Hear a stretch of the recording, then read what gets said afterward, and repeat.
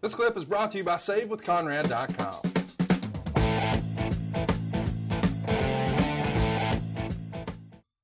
Chat me up about Vader on Boy Meets World. It airs on January 19th.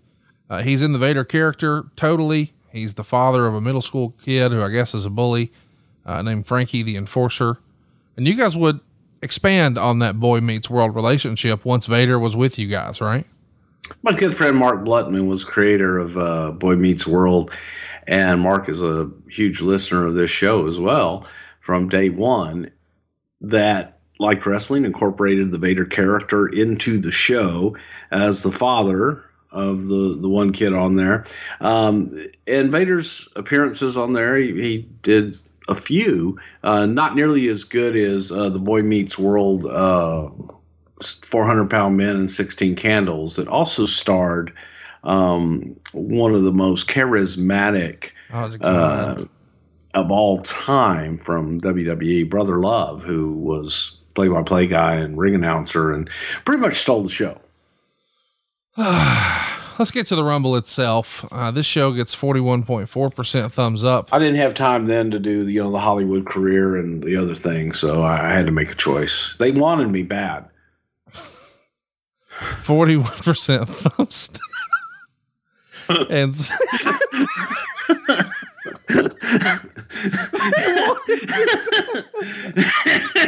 it was gonna be it was gonna be a fat guy joins the world. I don't know, but. That guy in white suit, red shirt, joins the fucking world. He loves everybody. Hey, there's a goddamn original fucking gimmick. I'm just telling you, I didn't have time.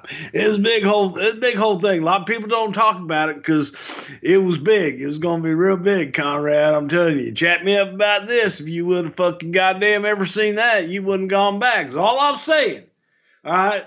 This is the first time I'm ever letting it be known that there was this huge Hollywood. By God, they were knocking on my door.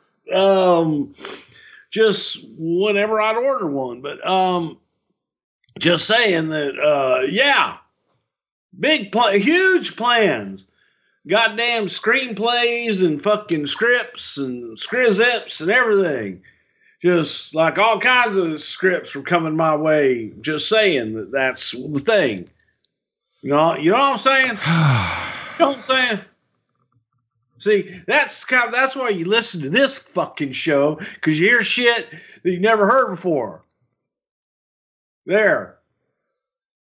okay. Okay, none of that really happened, but could have. The show gets I got I got residual. That's it. This is a true story. This is fucking. I got residuals from fucking Disney for uh, fucking Disney.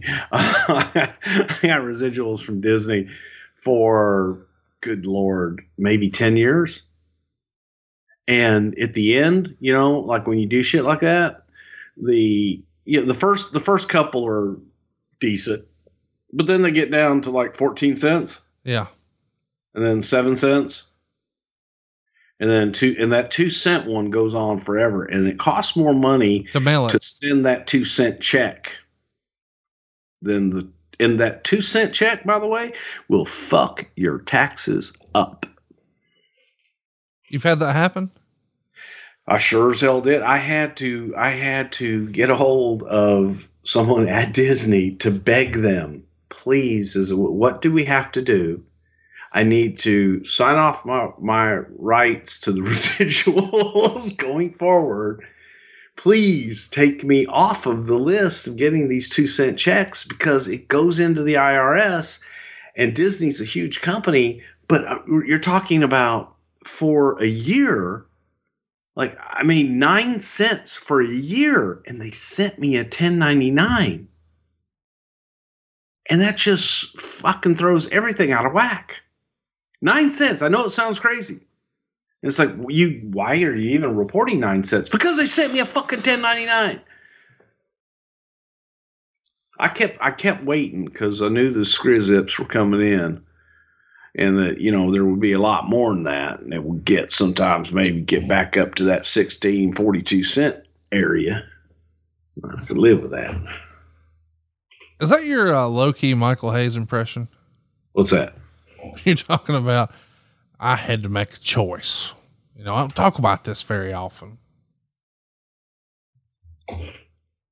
No.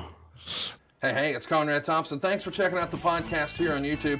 Be sure to hit the subscribe button and the notifications bell so you get a notice anytime we upload some new content. And go save yourself some money right now. If you're in a 30 year loan or you have credit card debt, it's not a matter of if I can save you money, it's a matter of how much. Find out right now for free at SaveWithConrad.com.